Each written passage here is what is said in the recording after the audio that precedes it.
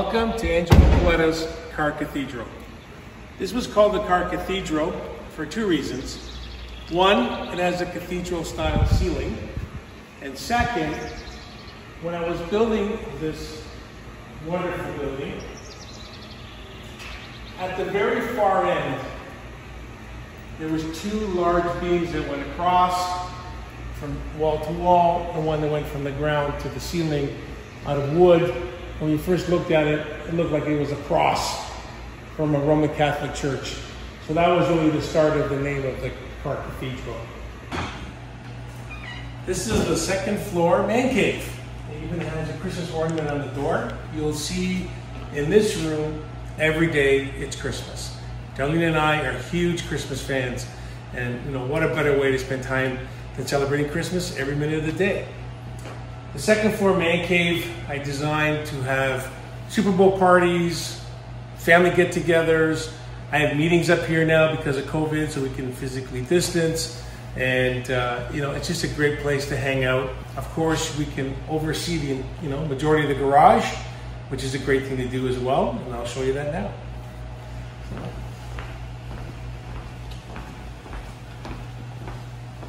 Here are my sliding glass doors that completely slide open, as well as they close completely. And this gives a whole different perspective of seeing cars from the top down. 99.9% of the time, you're seeing cars from street level.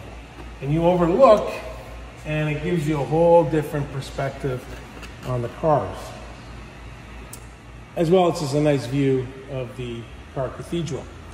You'll see to my left, I actually have a catwalk, which also gives a different perspective of seeing the cars. So follow me as we go for a walk along the catwalk.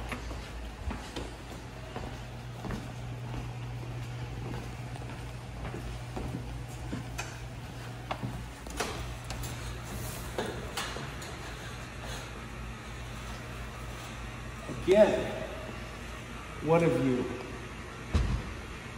I need more lifts because I have more cars coming. I'm actually working on getting a three car lift as well. We've got two high, plus one on the floor. And uh, what a view.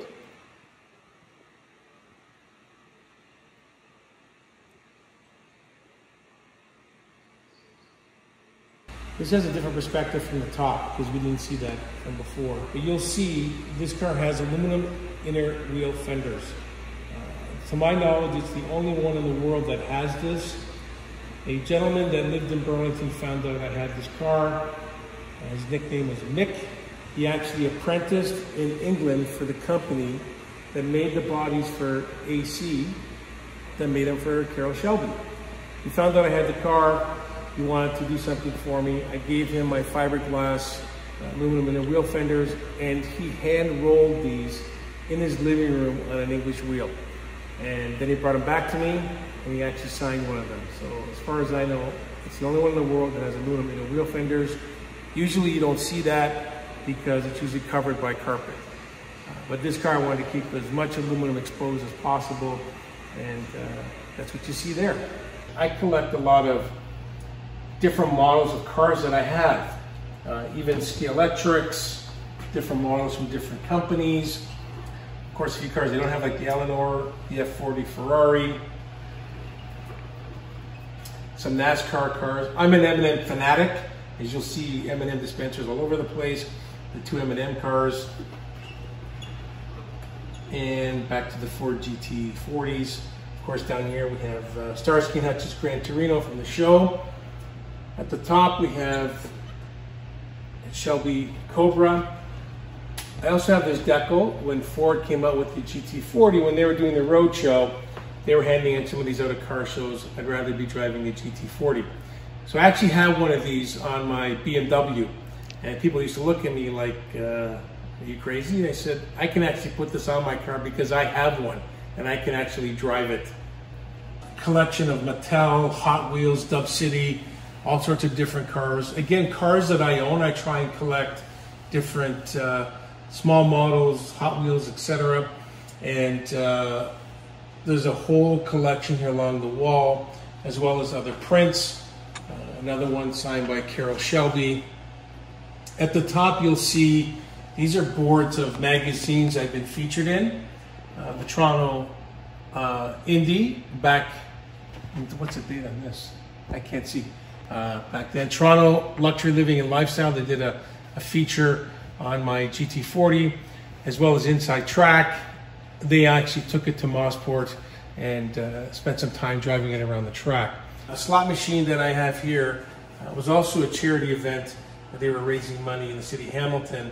And uh, this is a soprano style uh, slot machine. And you'll see actual signatures from Paulie, Michael Imperioli. Um, course, I can't read the other two, but four of the five key actors and stars in that series uh, were, were at the event and signed the slot machine. Unfortunately, Gandolfini was not there. But that's okay. Uh, a couple things actually back on the wall. You'll see two chrome style um, mini models here.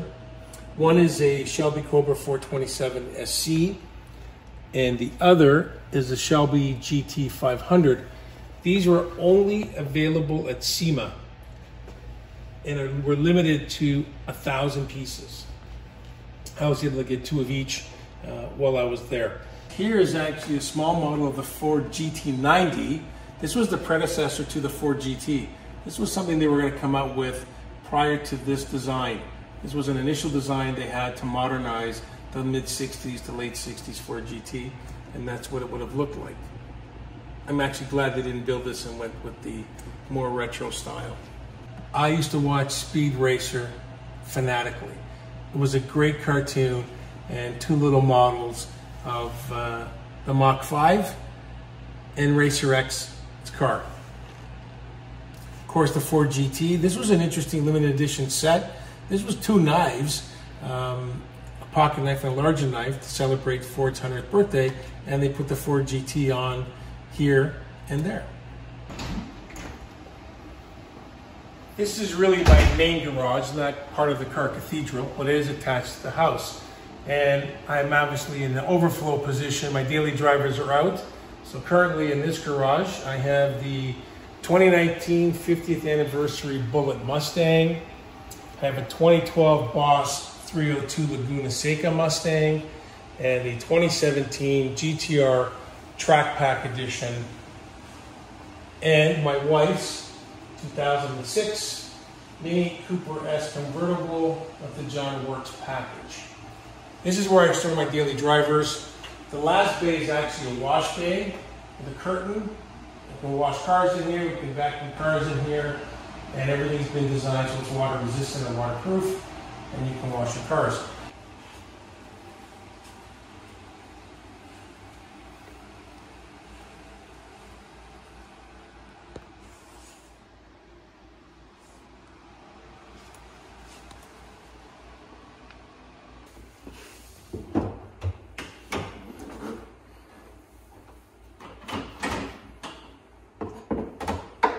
This engine is normally aspirated, 444 horsepower.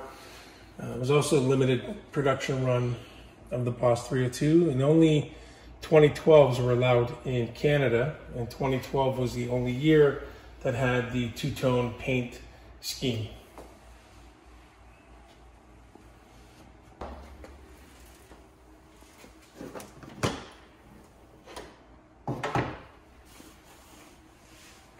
These engines are, are, are all hand built. I mean, there's only four engine builders that build these engines specifically for the GTR.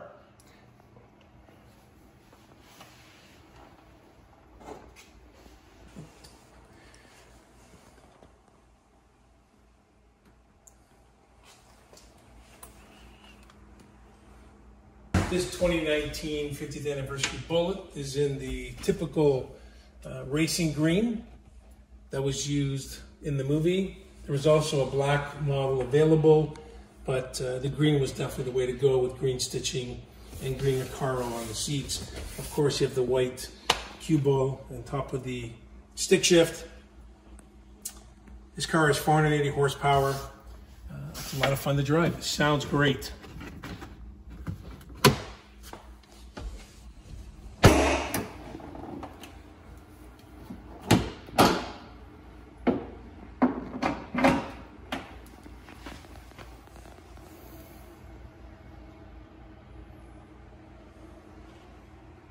Part of the Car Cathedral is used for a lot of community charity events. I have two main charities that I support. One is the Carpenter Hospice, and the other is the Joseph Brant Hospital, our local hospital. And you'll see here that actually most visitors that come, I ask them for a very, very small donation.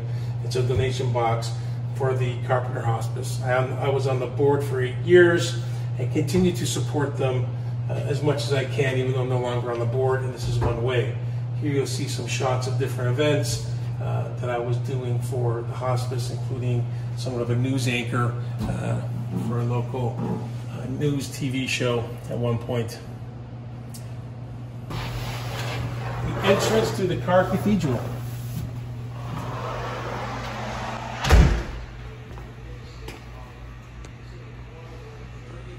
This is Car Cathedral. It's bigger than my house, and that's the best way it should be. Uh, this is just my place of peace and serenity, and I have a lot of fun. I love cars, I love speed. Of course, you have the man cave rules up there, which you have to follow if you want to stay in the man cave.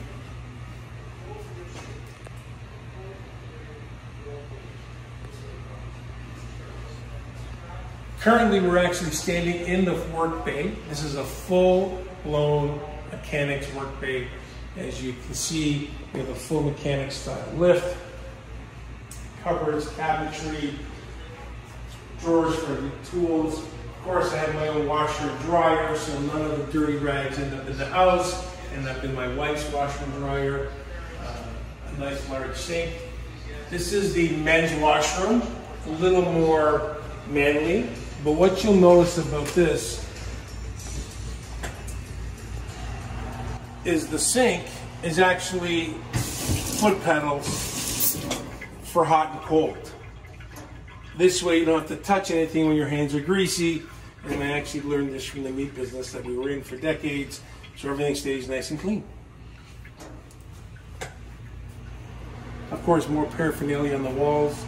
Uh, this was actually signed by Bob Bondurant which was the little cutout of a Shelby Cobra.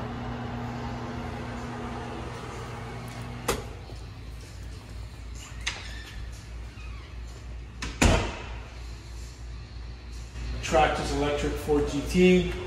This thing's really quick. It's nice fun to drive around on the driveway. Nice little table that my grandson uses. Of course, ton of car stuff. Uh, oil, change the oil, transmission, jack. These are special jacks used to lift the Ford GTs because generally they're too low. You have to raise them up to get the, the arms in from the lift. In the back is actually an original 429 Thunderjet motor that I took out of a 1968 Thunderbird and some point in the future I'm going to find a car that I'm going to put it in. They also have the original C6 automatic transmission that came with the car. Workbench, uh, again, more paraphernalia. A couple of nice models from my friends at Hunter Engineering. We sent that through.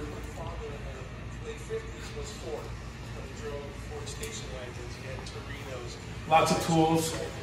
I'm not that mechanically inclined. I do try and tinker. Uh, all the modern stuff obviously so computerized I can't touch. But I have changed the two transmissions on my Cobra and an engine, usually with help.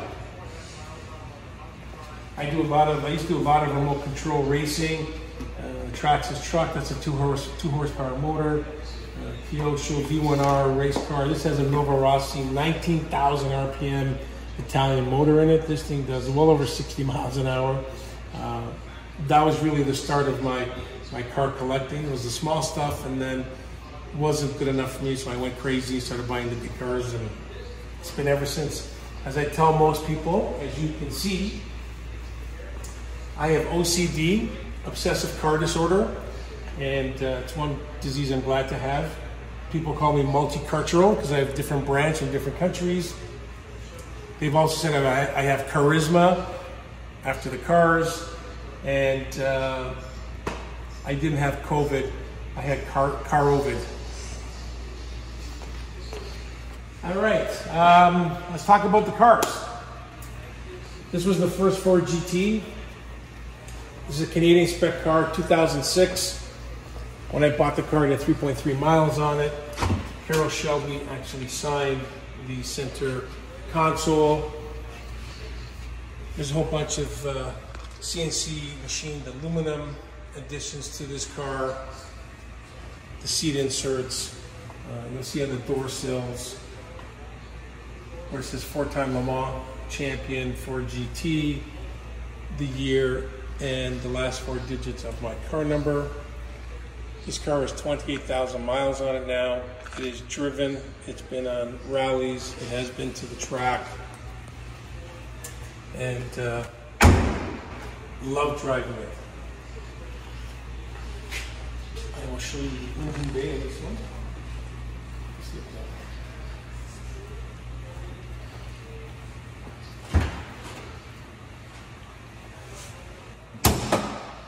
Uh, here's the engine bay. Did a little bit of work on this. Uh, the GT guys out of Michigan did the dual cold air intake, throttle body, a tune. Uh, I have the Bob Ida exhaust on this car, CNC machined cross members, a fire suppression system.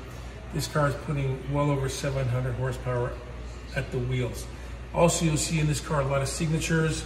You'll see Camilo Pardo, who was the designer of this car. You'll see Gary Patterson, the current president of Shelby, John Luft, the past, past president, Lee Holman from Holman Moody, GT Cindy, who was in charge of inventory control for the entire production, Bill Schaefer, my engine builder, of course, the famous GT Joey, Joey Lemongelli, and Marcy Cipriani, who runs the Ford SVT uh, website as well. Steve Saleen, who built the car for Ford, has also signed this car.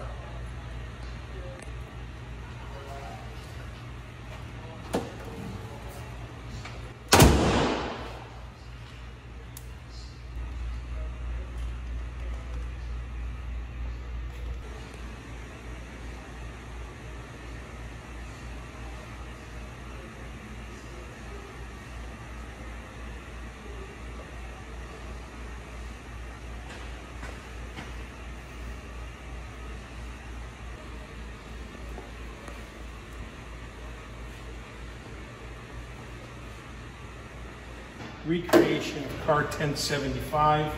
This is the car that won, Le Mans two years in a row, 1968, 1969. Full five-point harnesses. It's right-hand drive, right-hand shift, just like it was in the 60s when they raced Le Mans.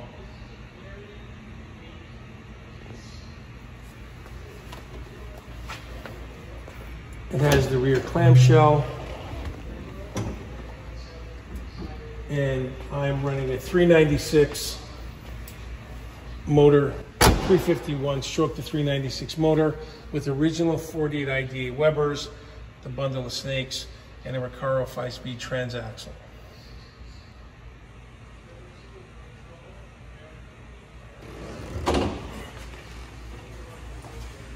This is the second 2006 Canadian Ford GT I purchased.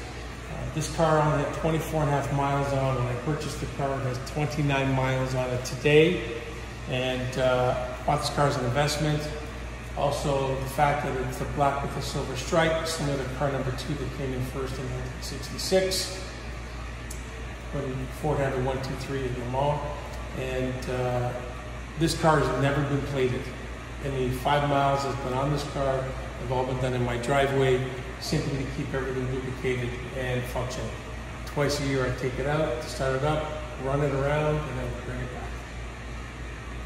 This is a, another neat piece of art. This was actually uh, drawn by Camilo Pardo, the designer of the Ford GT, while I was wearing this shirt at a dinner uh, for the 10th anniversary of the Ford GT in 2015 and uh, was wearing it, and he actually drove it. Uh, he actually drove it. I wish he drove it. Uh, he actually drew it um, while I was wearing it. So another neat little piece of uh, history, another one of one. You'll see a little tire stopper here, uh, signed by Camilo from uh, as well, the designer. This is an actual Fender electric guitar uh, that was custom made for me. As you can see, it, it's a GT40, car number six, to match my car number six car. And it's, it's uh, limited edition, and it actually has a serial number, number six, uh, to match. Of course, we have the official Ford racing suit. Uh, if you bought a 2017 Ford GT, a, a, newer version, you had the opportunity to buy a custom-made uh, Ford racing suit, just like the Ford racing car drivers wore during uh, Le Mans. So I got my own. You'll see that it has my name on it. It, both, it has both the Canadian and Italian flag, as I'm supporting both Canada and Italy. Uh, custom carbon fiber helmet, also with my name on it. Gloves, shoes. I actually wear this. I am doing some track days, and uh, I actually wear the suit at the track. Again, also with my name on it uh, for the for the track. Uh, that's the car cover, and that little piece of luggage is the only luggage you can get into the new Ford GT. That's how small it is, but it's very, very hot back there. Uh, I guess if you wanted to bake a lasagna on your road trip, by the time you got there, it'd be cooked. I have the original of the floor layout at uh, Saleen when they built the Ford GTs in 2004 to 2006 and you'll see the full production flow and you actually look closer, you'll see little cars, but they're actually shaped like the Ford GT.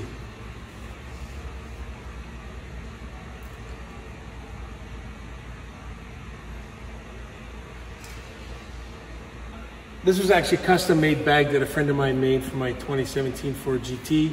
Uh, very nicely done, it matches the car. So for the 50th anniversary, uh, we had a celebration and they had these posters made of the GT40, uh, presented by the Automotive Hall of Fame, August 18, 8 to 10, 2013 in Dearborn, Michigan. Uh, this poster actually I had signed by Bill Ford, Henry Ford III, and Edsel Ford. Great piece of uh, history to have and pass on. This is my very first Ferrari my father kept asking me, why do you have all these Fords and, and no Italian horses in the barn? So he was kind enough and, and he bought me this Ferrari. This is the uh, first 2012 458 Spider uh, that came to Canada. I did the typical, very classic red on tan Daytona seats with the red inserts, some carbon fiber product uh, throughout. This car has almost 30,000 kilometers on it. My plan is to keep this car in the family and pass it down from generation to generation. And uh, my first son should be the first one to get this. Nice car, great car. Handles amazingly well. Sounds fantastic. A whole bunch of carbon fiber parts.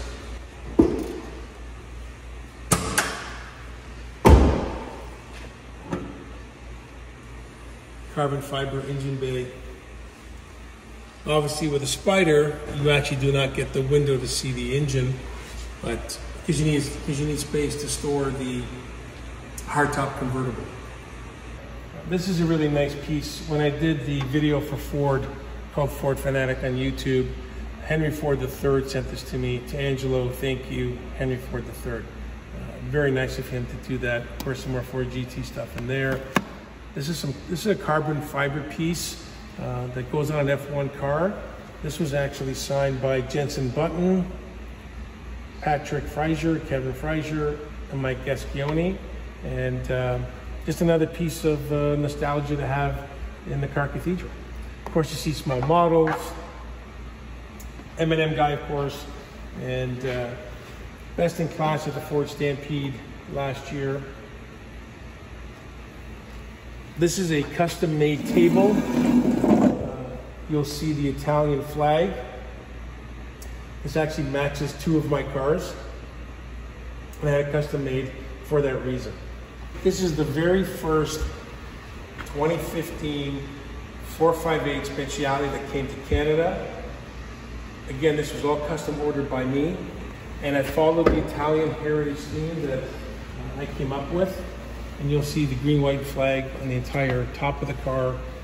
You'll see mats. This is basically the race version road going car of the 458.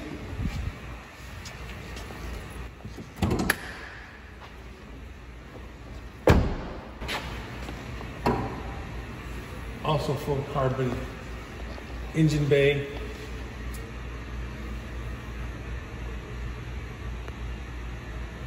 What's really unique about this car when it's running and you actually rev the car, this carbon fiber actually expands. So I actually call this the heartbeat of Italy as I as I rev it. Which we can do.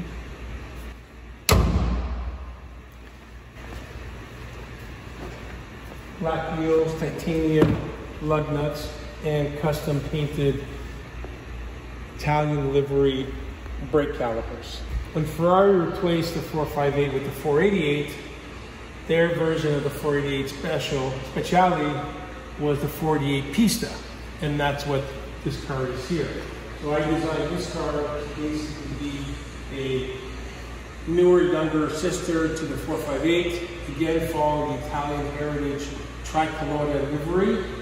This has way more tricolor Italian livery in it. You'll see on the seats, the center stripe is green, white, and red. You'll see the green, white, and red following through on the steering wheel, as well as green, white, and red stitching along the edges of the seats.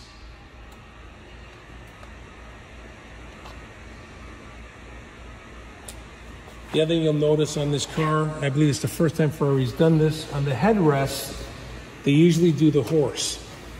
And this car I ordered with the shield, also with the green, white, and red on top.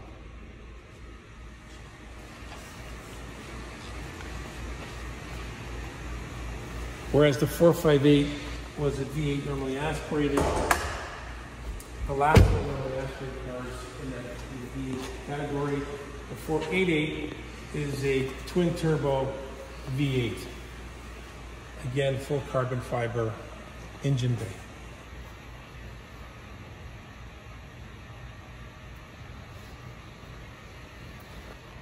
I did the same thing on this car the titanium lug nuts as well as the tricolor Italian flag brake calipers in green, white, and red with full carbon fiber wheels.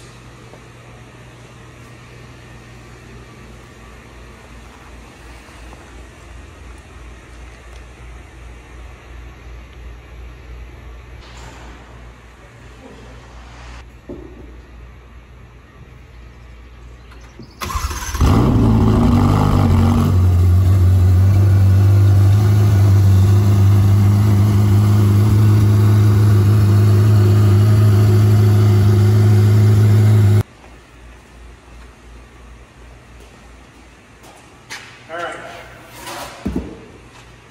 right. 2020 Hellcat Red Eye, 797 horse. Very, very quick car. Good for amazing action for doing burnouts. Big car. The blue, this is a Superformance Shelby Cobra 427 SC. This is my very first true sports car that I bought. That really was the bug that started this. This, this car was bought brand new, still original paint, 36,000 miles, running at 427 cubic inch stroker, uh, as well as a Tremec TKO 600 transmission. This, now, this car is brand new. This is the 2020 GT500 track pack I just picked this up two days ago. Still got all the plastic in it. Car has not even been washed by the dealer. All they did was the PPI for the mechanics. This car has full carbon fiber wheels, carbon fiber spoiler, no rear, no rear seat. Also limited production run. Two Pride and Joys on top of all the other Pride and Joys I have. This is an all aluminum Shelby Cobra. This is number two of only 12 American made cars. Most of the cars came out of England or Poland. This car was fully made in Illinois, all aluminum body, all hand rolled. The engine was made by the late Bill Parson from Southern Automotive. It's an original 427 side loader with an original NASCAR big spline four-speed top loader. It also has the FIA racing fuel tank, as well as front and rear brake cooling ducts. I'm the only guy that ever tried this car. It's got just over 200 miles. It is a beast of a car. A lot of original 60s parts. The car was actually done in 1997 when Carroll Shelby started again after he took a hiatus for about 10 years in the late 60s. Amazing, amazing, piece of car. You'll see later we have the aluminum inner wheel fenders. It's the only one in the world that I know of that has aluminum inner wheel fenders made by Nick, a gentleman here in Burlington. Now left is all aluminum so people can actually see some of the weld joints, some of the body marks from the person actually hand hammering the car. The aluminum is very, very thin. and also absorbs the oils from your fingers. This is a 2005 Spyker C8. This is only the third one in Canada. Silver with blue. Spyker from the Netherlands was in the aeronautics business. And as you look and see parts of this car, you'll see a lot of aeronautic influence. You'll see propeller style wheels, propeller style steering wheel, a lot of machined aluminum pieces, no plastic. This has the scissor style doors.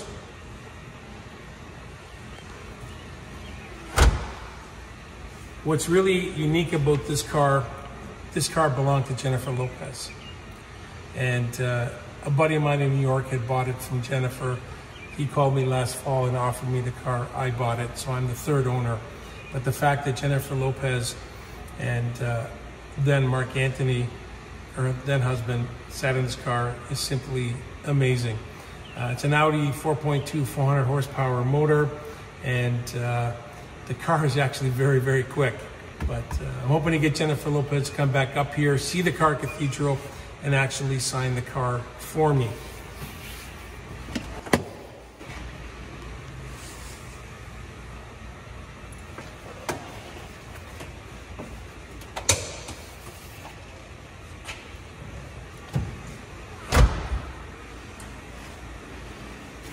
It has a front clamshell.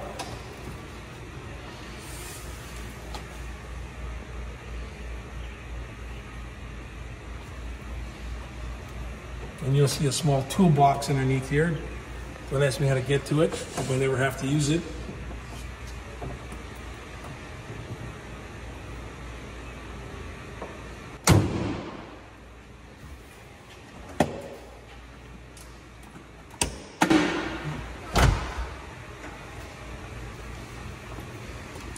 It's a mid-engine car.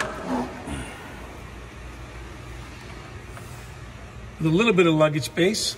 And I've tried it, it actually doesn't get too warm in here, which I was kind of surprised. This is uh, my wife's 2019 Ferrari Portofino. We replaced her 2017 California T. She loves driving this car. Great Grand Touring car. I am missing a few cars, unfortunately, from the Car Cathedral. I have a 2017 488 Challenge race car, uh, which I'm actually tracking. I have a coach and a pit crew. I have the very first 50th anniversary 289 Shelby Cobra, and that is in Irvine, California currently. That car also has a 289 stroke to 347 motor, uh, all original, built by Bill Parson with a original four-speed top loader, also from 1962. it will be coming up here shortly. And the last car that's not here is I have a 1939 right-hand drive Wraith Rolls-Royce limousine. Actually, I don't drive that car. That was the first car I bought, thinking I was going to go that way in my collection. It was way, way too slow for me, so that didn't last long. And then I switched to more high-performance muscle cars. I have more cars coming, but we'll save that for uh, YouTube uh, number two. Uh, a great big thank you to the Petersen Automotive Museum for uh, letting me do this. Very kind of you to reach out and ask me. I feel honored and privileged that you considered my collection to be uh, worthy enough to be used on your YouTube channel. I've been to the museum many times. It's a great place. If you get a chance to go, go. Uh, every time I'm in Los Angeles, I try and go because there's always new items there. And if you get a chance to go to the vault tour, take the tour. Thank you, folks at Petersen Museum.